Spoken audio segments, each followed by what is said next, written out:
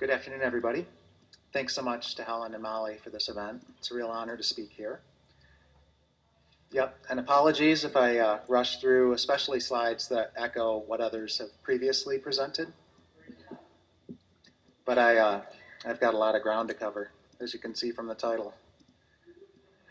So I found this image really striking. This is an image from Hiroshima after the bombing, actually, but I just found it so remarkably similar to the post-tsunami uh, scenes that we all remember from two years ago.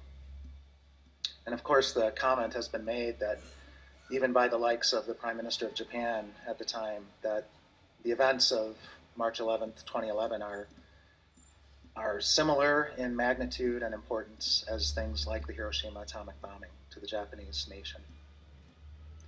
So this is a view of Fukushima Daiichi before the catastrophe began. And I was invited on a speaking tour of Japan in August of 2010, seven months before the catastrophe. And I stood on a bluff over the Pacific that uh, looked down on Fukushima Daiichi. My first stop was Okuma and Futaba on the speaking tour. So three and a half miles to the north, I could see the six reactors like this. And three and a half miles to the south, from where I stood, I could see the Daini uh, nuclear power plant with four reactors. And uh, it's little known, but a single offsite power line is what saved Daini more operating reactors than at Daiichi from a similar catastrophe. Several offsite power lines were lost to the earthquake. The emergency diesel generators were lost to the tsunami. And uh, that was the kind of scenario that Prime Minister Kan, his at the time chief cabinet secretary Edano, admitted to the Rebuild Japan Initiative Foundation. And the headlines came out on the first anniversary of the Fukushima catastrophe. They feared a demonic chain reaction of atomic reactor meltdowns and pool fires. Six reactors, well, three operating at Daiichi, but seven pools at Daiichi. Four operating reactors at Daini and four pools. One reactor and one pool at Tokai, closer to Tokyo. And that's where the headlines came from about the possibility of having to evacuate Tokyo if that worst case scenario had played out. 30 million people. But something that the filmmaker Kurosawa envisioned in his film Dreams in 1990 in the part called Mount Fuji in Red, atomic reactors exploding behind Mount Fuji as seen from Tokyo. So here are the explosions at the Unit 1 and the Unit 3 and the aftermath in mid-March of 2011. But it's not the, uh, the first time, and I should mention that the, uh, the reactors, of course, are General Electric Mark I boiling water reactors, so there's an instant tie between this Japanese catastrophe and U.S. involvement. but of course, our, our nuclear involvement, so to speak, goes back 70 years. And we just held a conference in Chicago to mark the 70th year since Enrico Fermi fired up the first atomic reactor in the world, the Chicago Pile 1, as part of the Manhattan Project, uh, the race for the bomb. So you can see an image, an artist's rendition of the pile there. And this is uh, Enrico Fermi. And the, the title of the conference was A Mountain of Radioactive Waste 70 Years High. So um, of course, this was all about the bomb. And uh, these are images of the mushroom clouds at Hiroshima and Nagasaki. And so the radioactive risks began with the bomb project. And I should have mentioned that Enrico Fermi took a calculated risk, or maybe it was an uncalculated risk, at the University of Chicago. The original plan was to build that prototype reactor some 20 miles, 30 miles outside of town, where Argonne is now located. And uh, there was no time. They couldn't do it in time, so they decided to just do it at the University of Chicago. They didn't even inform the president of the university. They're doing this on the edge of downtown Chicago, and Fermi convinced his higher ups that probably it would be okay. But some of his graduate students were assigned the task of what they called the suicide squad, and this was to pour a chemical solution onto the pile if something went wrong. There was another individual called the Safety Control Rod Axeman, who literally, with his axe, would chop a rope that was over a pulley and drop the control rod into the out of control reactor. And that term scram still sticks in the nuclear power industry. But as we saw at Fukushima Daiichi, you can scram a reactor when a 9.0 earthquake strikes, but the decay heat is enough to melt it down if you can't cool the cores. So again, with the history, we see Oppenheimer and Groves at the Trinity blast site. This was the precursor to the Nagasaki plutonium bomb and the aftermath of that shown. They didn't have to test the uranium bomb. It was sure to work, so they didn't test it. But, you know, as has been mentioned by uh, Dr. Fairlie and Mary Olson, the, the fallout from the, uh, the Cold War, um, atomic bomb tests and hydrogen bomb tests and this next section, um, Brian Victoria is right in the front row, so I owe a debt of gratitude to Professor Victoria because I learned history coming to Antioch University Midwest last Earth Day last year that I hadn't known about the early U.S. involvement in the Japanese nuclear power industry. So, atomic weapons testing in the Pacific.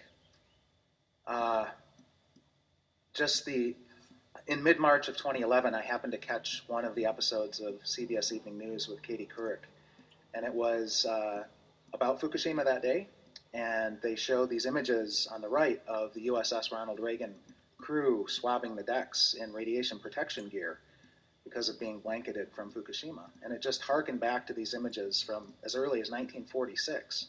And granted, that's a photo op. You can see the sailors are smiling, but they bore the brunt of that health damage over the years and decades after that. They are the atomic veterans.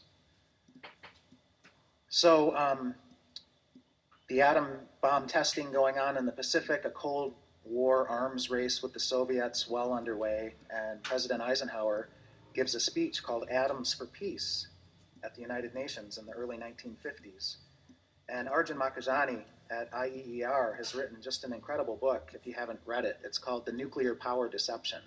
Came out in 1999, and I learned a lot about the propaganda machine, which was Atoms for Peace, because uranium mining and milling and processing and enrichment all had to be expanded for this arms race we were in with the Soviets. But how to sell that to the American people?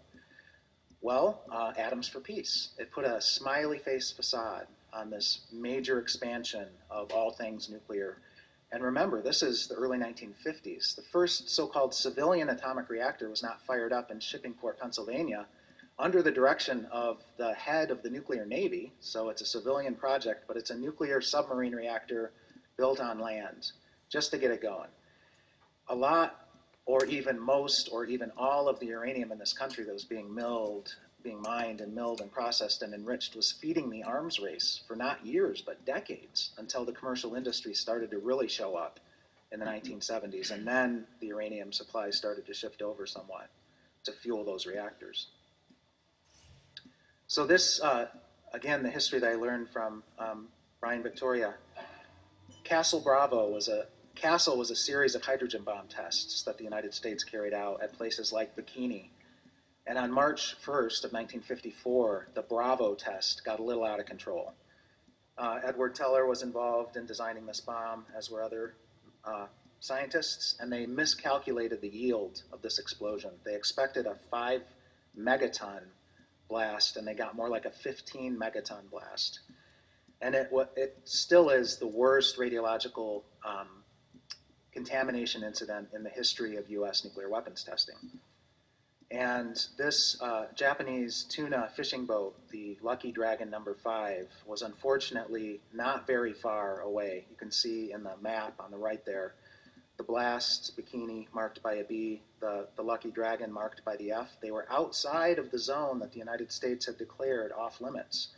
But, certain, but then later uh, they redrew the danger zone and they were well within that danger zone. And over time, uh, half of the crew of 23 died of their radiation exposures. One of the deaths occurred pretty quickly, within a matter of months, and it led to uh, an anti nuclear groundswell in Japan, including a petition drive with many tens of millions of signatures against atomic bomb tests and against hydrogen bomb tests, and a million signatures alone from Hiroshima area and the United States became very worried because there was uh, uh, this this large groundswell of opposition to to the nuclear energy establishment. And there were fears that uh, even the Soviet Union or China could take advantage of this situation, and it's in the competition for loyalties after World War II. So again, the, the juxtaposition of images old and new. So on the left, uh, officials from the city of Tokyo testing the tuna from the Lucky Dragon and finding severe contamination. But like Cindy talked about, some of that tuna had already been sold, had already been consumed before it was it was quarantined. And then on the right, this is actually an image from Thailand, not from Japan, but also dealing with the contamination of seafood post Fukushima.